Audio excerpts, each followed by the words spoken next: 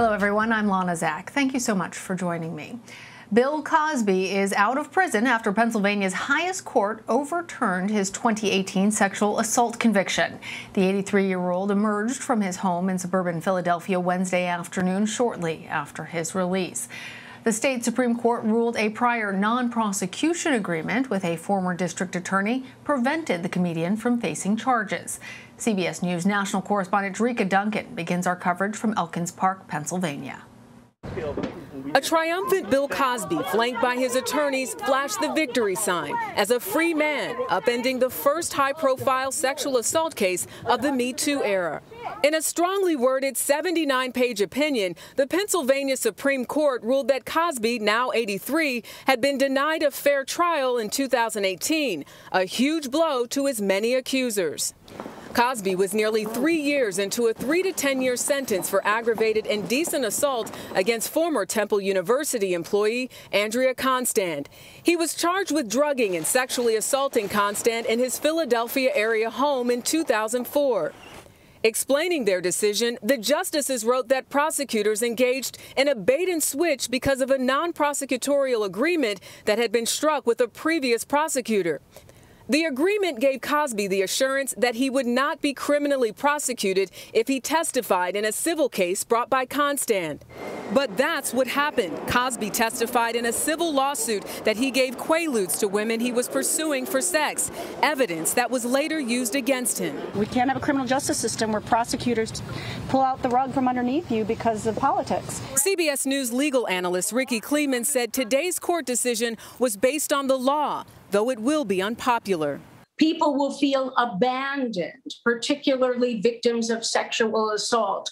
They will feel that the court, quote unquote, let him out on a technicality. This is not a technicality. It's a violation of constitutional magnitude. All right. The beloved comedian and actor was best known for his role as the lovable husband and father in The Cosby Show. But his family friendly reputation was left in tatters as more than 60 accusers came forward.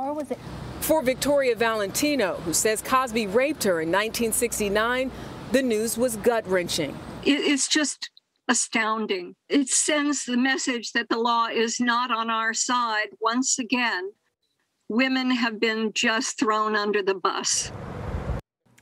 And Duncan joins me now. Jericka, has there been any reaction from Bill Cosby's principal accuser, Andrea Constand? Yes, Lana. In fact, uh, Andrea Constand released a statement a few hours ago, and she basically called this decision disappointing. She said that she was concerned about if this would prevent other alleged sexual assault victims from coming forward because of what uh, the decision from the Pennsylvania State Supreme Court was today. And what about any reaction, Jericka, from the prosecutor who made the decision to arrest Cosby in 2015? Well, the prosecutor uh, did reach out. They sent a statement, actually, and they said that they are proud of Andrea Constand for coming forward. Uh, they still call her a victim of Bill Cosby's and said that they will continue to pursue this where the evidence takes them. So does that mean they will try and retry this case with other charges? Uh, we don't know, but we know that there were two trials here in hmm. Montgomery mm. County, and this recent news of the decision being uh, vacated or overturned means that Bill Cosby, as we stand here on his property, is a free man. And you know, we got a chance to actually talk to him uh, for about five minutes after interviewing his publicist here. I said, "Is there any opportunity for us to go in and speak to Bill Cosby?" And he said, "Well." well, see. So we went up this driveway here inside the home. I waited in the kitchen. Uh, about a minute or two later, I was called upstairs uh, to where Mr. Cosby's bedroom was. He was on the phone, uh, seeming in a good mood, good spirits, very comfortable and relaxed, wrapping up a phone conversation with uh, what I believe to be a family friend.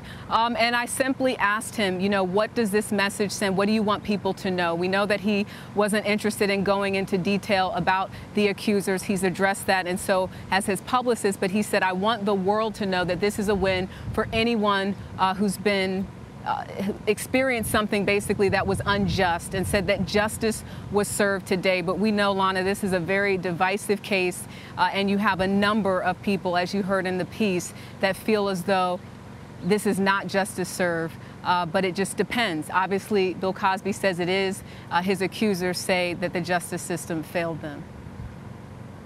Well, Jericka, we know how extensively you have covered this case. Thank you so much for joining and bringing us the very latest. For more on the legal analysis of this decision, I want to bring in Kim Wehle. She's a professor of law at the University of Baltimore School of Law. She's also the author of How to Read the Constitution and Why. Kim, tell us more about this non prosecution agreement made between Cosby and the former DA. Why did the previous prosecutor choose to strike this deal in the first place?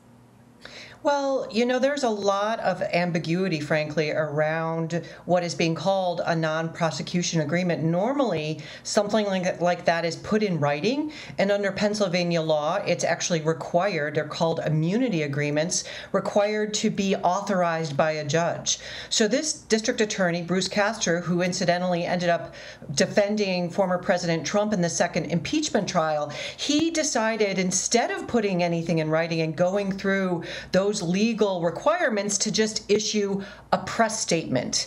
And so the lower judge in this case said, listen, a press statement is not the same as immunity, so I'm not going to uh, basically hold the government to this because Bruce Castor was replaced by a later district attorney who decided to go ahead and prosecute uh, Mr. Cosby. And then the, in the interim, there was a civil lawsuit filed by the victim here and seeking money damages and Mr. Cosby testified in that lawsuit, did not invoke his Fifth Amendment right to self incrimination. His lawyers didn't tell him to do that. They could have. So he chose not to do that. But now, now on appeal, the Pennsylvania Supreme Court is saying, listen, that that statement, that public statement, was was ambiguous enough to give Mr. Cosby a comfort level that he could testify in the civil uh, deposition without having that testimony used against him, and it was used against him in this trial, and would led to his conviction. So the court is saying, listen, this taints the whole thing. It violates his due process rights, and honestly, this is a problem with lawyers. The district attorney, Mr. Castor, made some errors. His lawyers arguably made some errors. And the second round, the trial didn't have to use his testimony in the civil deposition. They, they those prosecutors did that with taking the risk that it could be overturned on appeal. So, Kim, uh, you heard Jericka's reporting and, and the indication that prosecutors may be looking to pursue other charges. Are they also able to appeal the state Supreme Court decision or seek a retrial? In what ways are they still able to pursue charges versus being completely hamstrung? Well, I, when it comes to Ms. Constand, this particular claimant, the double jeopardy clause of the Fifth Amendment would probably preclude additional criminal charges relating to the conduct um, that Mr. Mr. Cosby engaged in. Just to be to be clear, this reversal has nothing to do with the facts. Uh, the facts and the evidence haven't been shown to be problematic. It was really procedural, but I agree with Rikki, your uh, your legal analyst, prior legal analyst, that this is really about protecting uh, constitutional rights for all defendants and requiring that government dot its uh, I's and cross its T's. So, so they could bring other charges. I mean, as you mentioned, there were there are dozens of other women, um, and Miss Constand, the, the the victim in this case, did get a 4.3 million dollar settlement in the civil case from Mr. Cosby. So I don't think this is necessarily a, a disaster for women's rights. Uh, you know, I think it is problematic procedurally. The court could have gone two ways. There's a dissenting judge who disagreed with the majority, this six person majority and a seven person Supreme Court panel, but there aren't any more appeals left for this particular case. And, you know, in America, um, lots of cases are, are, are, lots of people are prosecuted based on prosecutorial and police misconduct. So there are two narratives here, and one could argue that there, this is a win for the Constitution and for defendants in the criminal justice system, many of whom unfortunately don't have the, the money Mr. Cosby does to afford the kind of counsel he had here. Kim, I'm, I'm imagining that there are people who are who are just wondering why why this deal was struck in the first place because as you heard the state the, in the decision from the state supreme court they called it uh, a bait and switch that they said go ahead and testify and then turned around and, and prosecuted him based off of, of that off of an assurance that they weren't why, given given how pro, high profile the case was, the number of, of other accusers that were out there, why would that? Why could this have this case have actually transpired in the way that it transpired? I don't know. It's really bizarre because I said it, there wasn't really an agreement. There wasn't a, arguably a binding agreement. Mr. Castor, the DA, did not follow the steps, the legal requirements to actually grant Mr. Cosby immunity, uh, and which is why the lower court didn't didn't honor that agreement and and uh, there are lawyers that took over for Mr. Castor who said we had no knowledge that this this was an agreement so presumably if it was binding on the state of Pennsylvania the the prosecutor's office would have understood that and there was there was testimony both ways and so the lawyers whatever this sort of behind the scenes deal was they didn't paper it properly uh, the government didn't paper it properly his lawyers Mr. Cosby's lawyers didn't pay, paper it properly Mr. Cosby's lawyers in the civil action didn't arguably protect his uh, Fifth Amendment rights properly by, by asserting them, claiming, well, we thought we had this deal. This deal wasn't done the way immunity deals are done.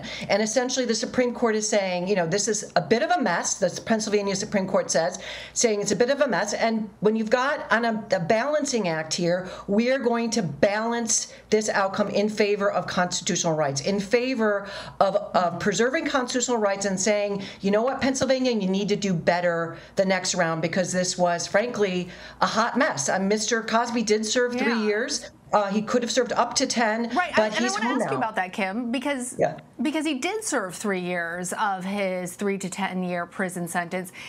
Is there any possibility that Cosby might seek legal action?